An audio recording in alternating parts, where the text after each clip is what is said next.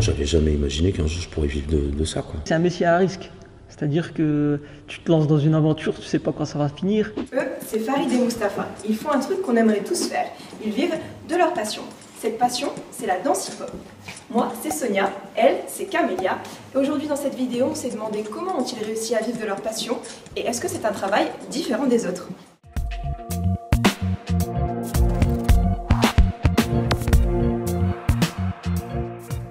Voici donc Farid. Il est chorégraphe et possède sa propre compagnie.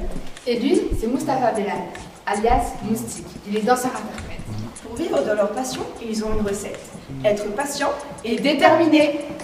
J'ai dû passer, on va dire, euh, à peu près 8 ans en tant que passionné, en train de m'entraîner, à faire des compétitions, à faire des spectacles amateurs, etc.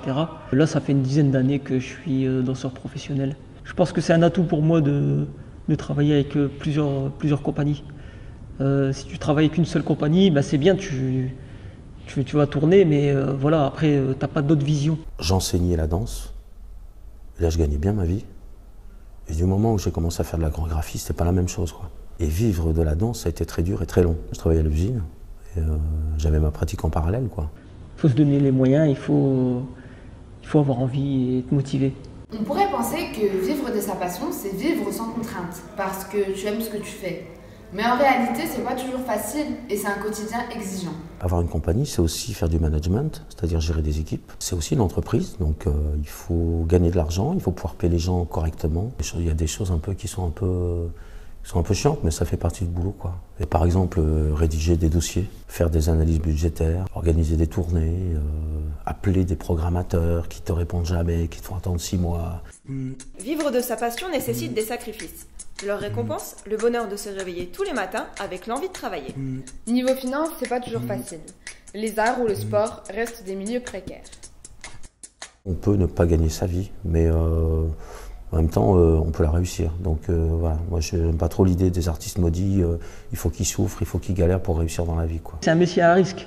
C'est-à-dire que tu te lances dans une aventure, tu sais pas quand ça va finir. Quand tu te lances et que tu veux fonder une famille, etc., euh, tu te dis, bah, c'est pas un métier stable. En France, tu as les gens euh, ultra confort, c'est-à-dire euh, les multinationales, y compris pour le hip-hop. Hein, tu as des compagnies qui sont des multinationales.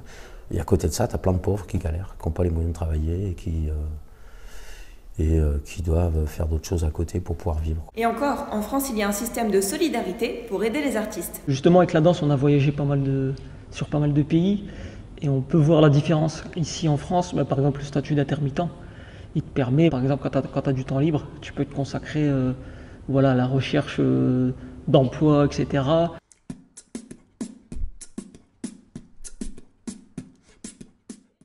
Et oui, vivre de sa passion, c'est plus encouragé en France qu'ailleurs. Le souci, c'est qu'avec la fin des emplois aidés, beaucoup d'associations sportives ou artistiques ont vu leurs emplois disparaître. Les moustiques et Farid nous montrent qu'il est encore possible aujourd'hui d'exercer sa passion malgré tout. Et vous, seriez-vous prêt à tout quitter pour vivre de votre passion? Racontez-nous tout ça dans les commentaires et n'hésitez pas à voir les autres vidéos des haut-parleurs sur YouTube, Twitter ou Facebook.